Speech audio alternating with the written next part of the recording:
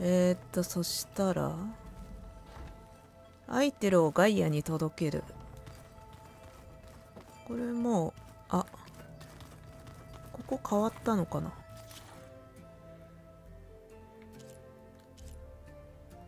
オーバーライドあこれいけんのか。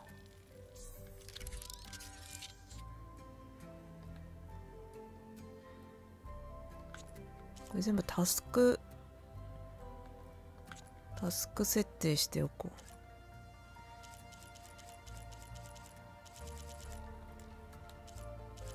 う。よし。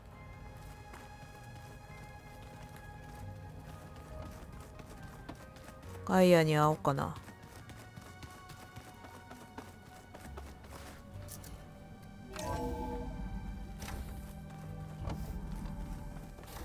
ガイアおかえりなさい。ガイアも増えてる。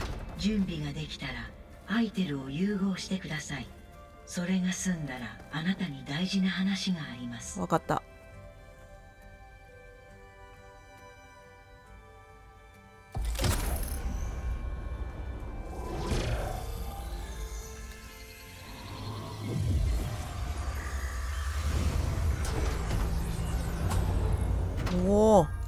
れでいいのか？空になった。アイテム回収アイテル回収か。また字幕にな通信を受信しました。エレウシス。前は検知できなかった副次機能のことか。おー。そうです。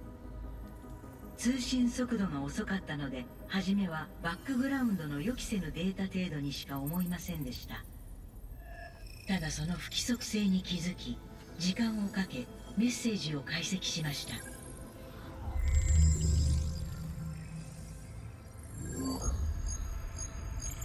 うん。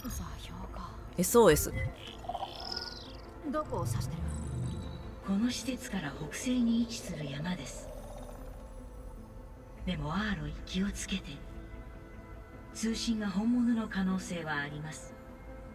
ですがエレウシス以外の何かによって送られた可能性もあるのです。なるほど。エレウシスじゃないってことか。それは分かりません。SOS って？古の暗号の一つ。助けを求める。救難信号のことです。エレウシス？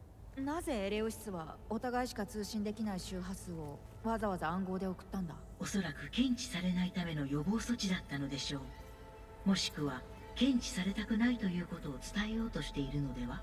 ただわからないのはなぜエレウシスがこの救難信号に私が応答できると思ったのかということです。私はこの通り不完全なのですから。うん。そうか。じゃあエレウシスがこの信号をガイアがいると信じて送ったか。誰かがエレウシスのふりをして私たちをおびき出そうとしているか。うん。私の結論も同じです。もしかしてゼニス？ゼニスが信号を送った可能性は？あなたのフォーカスにあるデータを検証した限りゼニスがハデスの試験場で別のガイアルートカーネルを回収しそれを使い私の内部周波数にアクセスした可能性はあります。あいつらはいつかガイアが応答すると踏んで居場所を知ろうとした。ありえます。ですが通信は極めていびつです。私の居場所を明かすことが目的であればもっと形式的な通信をするでしょう。確かに。じゃあ奴らじゃないのか通信について。座標はここから北西にある山だと言っていたな。何がある？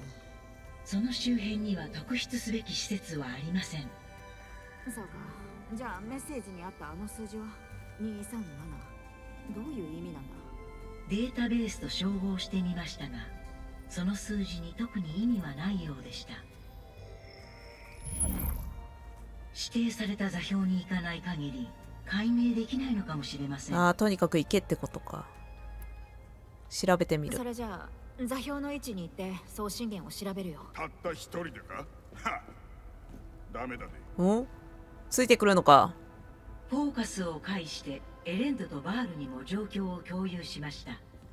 私もあなた一人で調べるべきではないと思います。罠だったらどうする？ん？もちろん可能性はある。でも本当にエレウシスなら危険な状態だここに連れてこないと。心配ない。無理はしないから。俺たちも行く。分かった。準備をしてこい。西の出口で待ってる。装備を改良してきてもいい。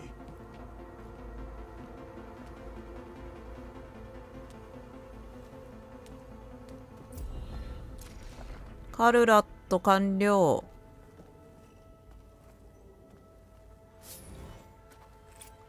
キルポイントもらった。響き合うゆりかごあちょっとガイアと話そうかな。アーロイ。さっきは驚いたよ。バールとエレンドが急に入ってきたから。協力を受け入れてくれてよかったです。出発前に話しておきたいことはありますか？副次機能に関する問い。なんか増えたね。デメテル。の役割は何だデメテルは地球の土壌を管理し植物を育てます。デメテルを取り戻せば腐食は収まっていくってことか。完全な回復にはヘファイストスの力が必要不可欠ですが一時的に環境を改善することはできるかもしれません。ただし注意は必要です。アイテルやポセイドン同様デメテルからの反応は極めて異常と言えるでしょう。孤独で恐れており自分の身を守るために牙を剥くことも考えられます。うん。ああ気は抜かない。消えた副次機能だけどどんな役割だった？アルテミスは多様な動物を再び地球にこ放ちました。れ前に聞いたっけな。エレウシスは新たな世代の人間を宿し育てさっきのねエレウシス。アポロはさまざまな人類の知識と文化的遺産を保管しそれを整理して普及させる役割を託されました。残念ながらアポロのデータは2066年2月2日テッド・ファロの指示によって全て消去されていますファーロか。本当に嫌なやつだ。うん。理解できます。彼の精神は自己陶酔的理解でありきます。直情的で不安定です。消えた3つの副次機能はすでに役目を終えたか。もしそれでもいるのか？それらが獲得できる。エレウシスは救難信号の座標においてエレウシスね発見できるかもしれません。さっ言ってたやつアルねテミスとアポロの場所は依然として不明です。アルテミスとアポロが全然わかんないのか。ポセイドンについて聞かせてくれ。ポセイドンは水中の有機物と水源の化学成分のコントロールをこれ何かが更新されたってことかな？ポセイドンを回収すれば河川流域のほぼ環境を一部内容一緒だけど改善できるかもしれません。ただ注意してください。他と同様ポセイドンは孤独と恐怖の中におり身を守るために牙を剥くかもしれません。牙を剥くかもしれま気をつけるせん。っていうのが増えたんか？嵐の力が弱まったと言っていたな。アイテルの効果か？はい。アイテルの機能によって一時的ではありますが一体の天候は落ち着くはずです。テナークスにとって朗報だな。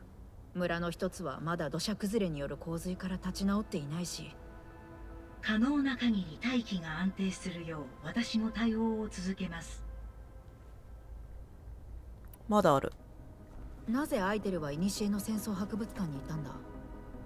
他の副次機能もそうだったようにアイテルも十分な容量とパワーを持った物理プロセッサを必要としていました。施設のホログラムが依然機能していたことからも博物館のプロセッサが要件を満たしていたのでしょうあそこならいつまででもとどまっていられたってことか。そうです。そしてアイテルが航空機の残骸に囲まれた場所を選んだことも興味深いです。そこが落ち着くと思ったのかもな。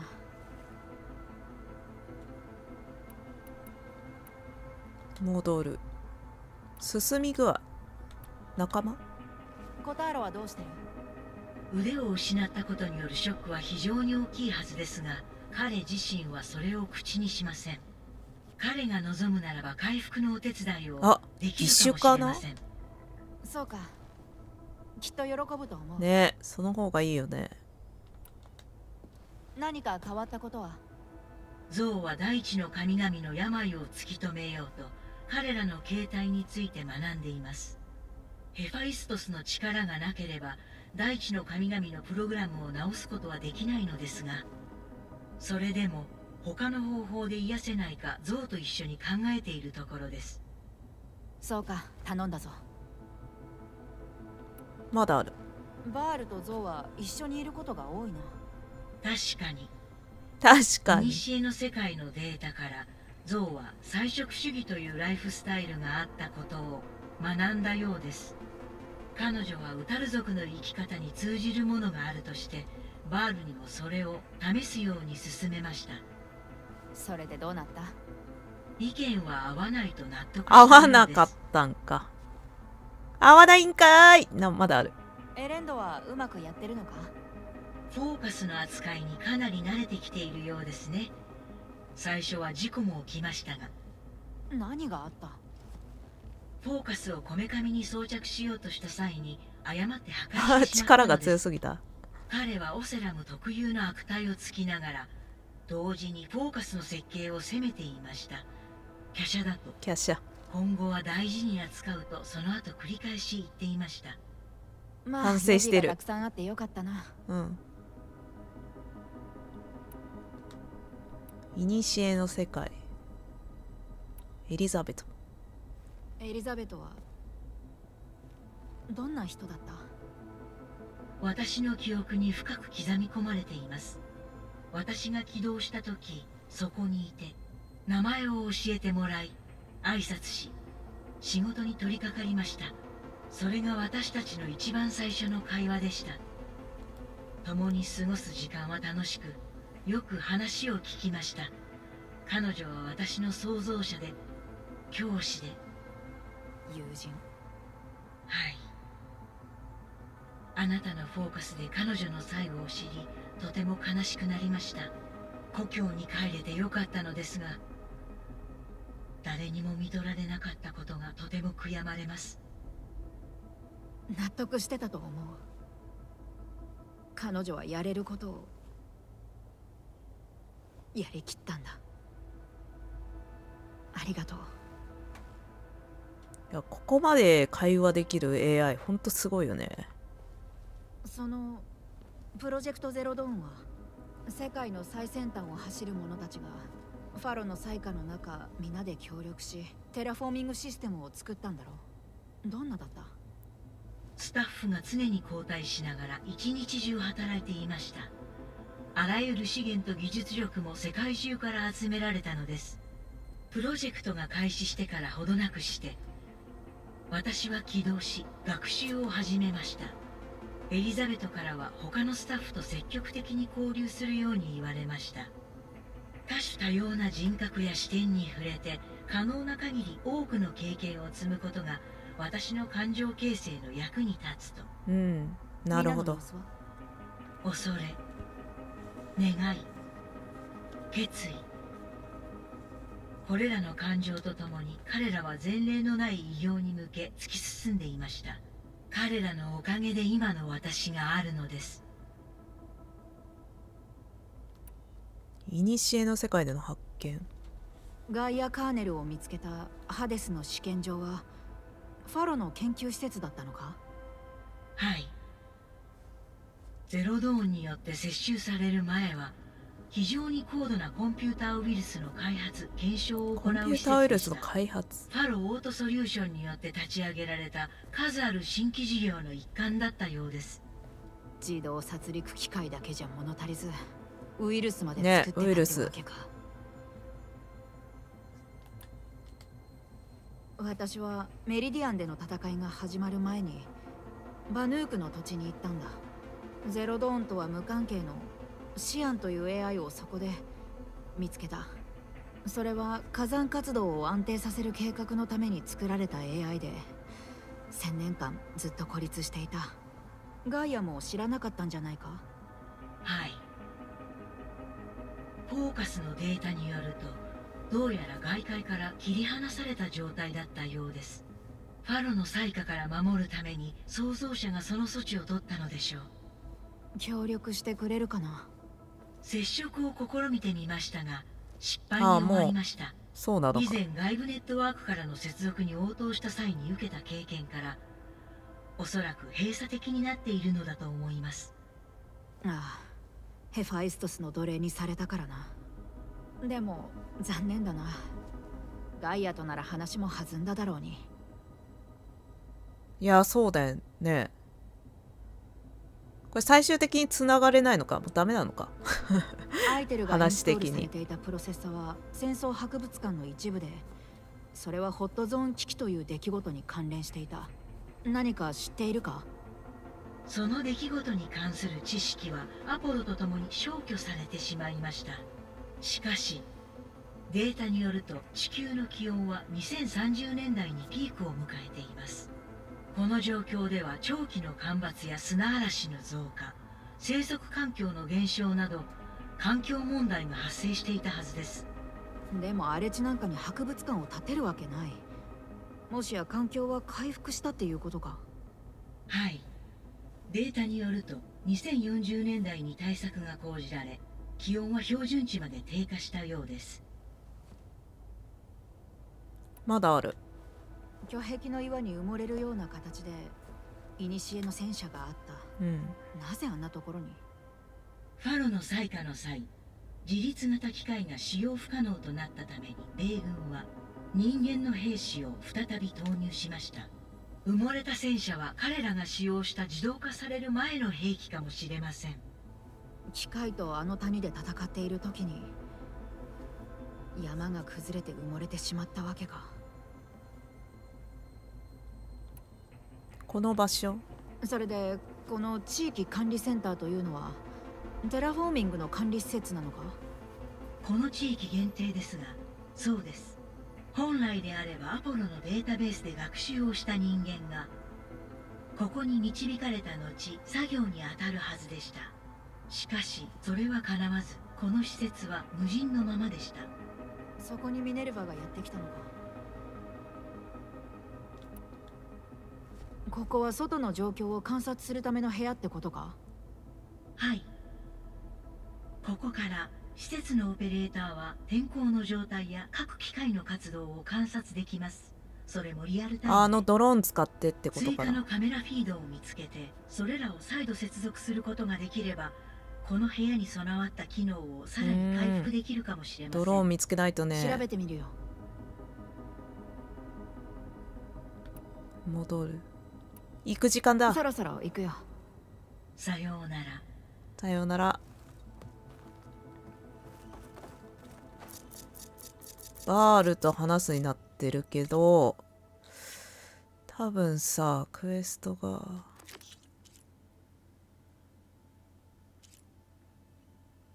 あー。なるほどねあやっぱ。え？あ全部できなくなってんのかな？あ。全部進行不可になってしまった。とりあえずこれをやんないといけないんだね。なるほど。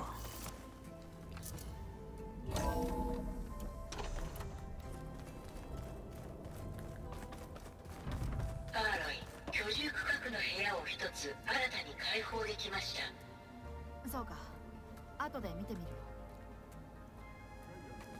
えっ、と居住居住施設の。チョコレートフロスティング。兵士の食料として役え何それ？気になるな。俺の剣が必要。今はいい。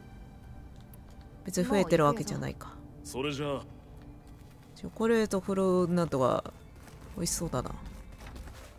居住区の一つ誰かさんの部屋になったみたいだな。そこはバールとゾウの部屋ですアーロイ。自分たちだけの空間が欲しかった。えそういうこと？なるほど。なるほどね。ああこれが閉じられてた部屋か。いや確かにバールとゾウの部屋なかったもんね。うわなんか生々しいな。ここにファファーの置物が置いてある。かわいいもう同棲始まっちゃってるわここで。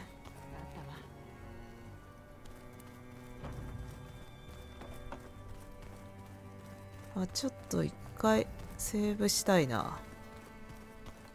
えー、っと。そこがあれか。焚き火。ここじゃない。焚き火。そう考えるエレンドを探しに行こうエレンドと。バールが西の出口でセーブできない。一旦進めよ。来た来た。来たよ。もう行けるか？一応ね最後さあ行こういいね。百戦錬磨の三人組が未知の世界に挑む。ワクワクしてきたぜ。ワクワクしてきたか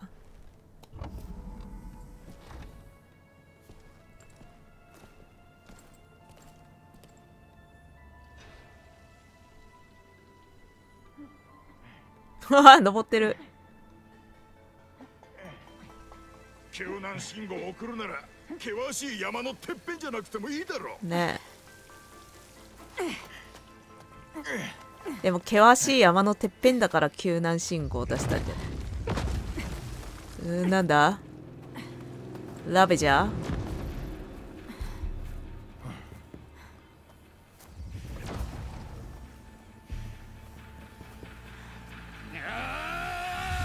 わあなんか白い人がいる。害虫とか言われちゃった。それずるくない？その血そうそれそんな。大弓だ。大弓いけんのか？あなんだあれ？おおまさか。なんだあの機械。あのチート装備を。排除したと。でも爆発した。1回しか使えないのかな。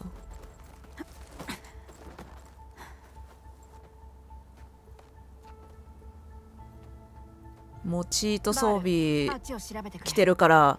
分かった。最強だぜって。私たちはあいつらを。調子乗ってたらね殺されちゃったねああの女の人。あのゼニスね。ゼニスは思った以上にいるみたいだな。そうだね。あんな奴らと戦ったのかよ。死ぬところだった。すごいここ雪が。アイテムがある。あれは武器か雪が溶けて服に染み込んでる。参ったな。死体を調べる。逆賊が何かしたことでシールドが解除された。ねでもなぜこいつはここに？最後の通信ファイルにアクセスしてフォーカスで周辺もスキャンしておこう。んあのゼニスが持ってたヤバい武器は何だう思い通りに出何したり消したりできるみたいあバベーナ何今か収穫は。探し回ったけど、影も形もない、ここんな無意味な捜索は終わりにしましょう。そもそも誰のせいで逃げられたんだったかな？それアーロイとさエレンドの会話ににカブチャが君ならできるだろう。待って。何か見える？あそれでここ来たの？待って何か見えるで終わっちゃった。光線場所を調べるこれか。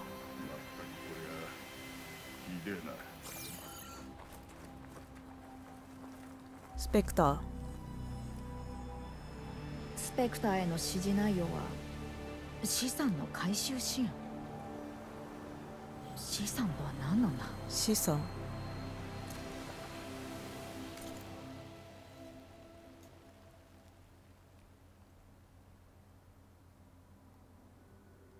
敵を検知し光線してまあ壊れて。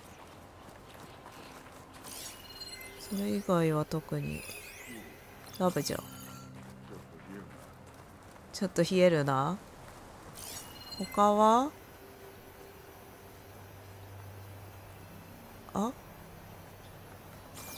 あそこなんかバールがいるのか。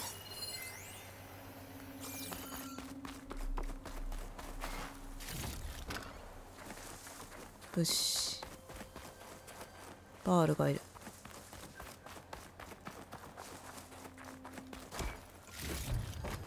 保管庫から後で補充し。よう調べてこいよここにいるえ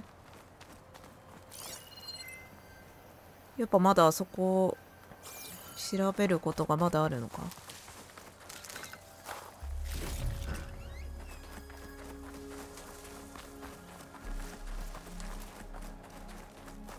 あこれ？ストーカーのダーツが。全然違った。なんだこいつは。プレーリードッグ。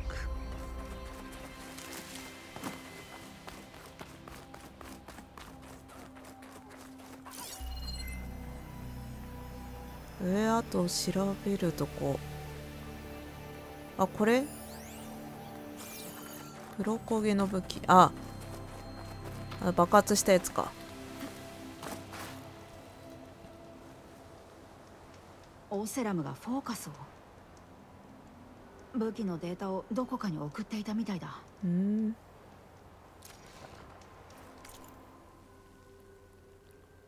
異常を確認。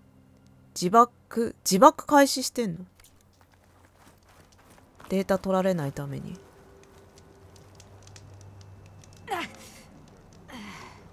武器がまだ熱い。確かに熱そう。使い方を調べるのはあこいつの熱が冷めてからだな。そうか。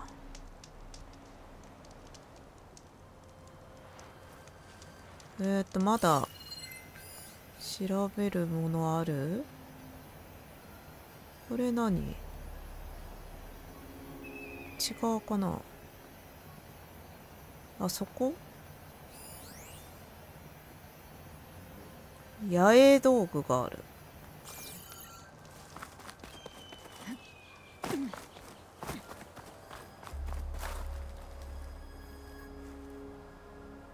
逆賊はしばらくここで野営していた。辺りを監視していたのか。うん。よし。ここで何があったかは大体分かった。エレンドのところに戻ろう。そうだね。ちょっとアイテム回収してから。ここどこ？あこんなとこにいんだ。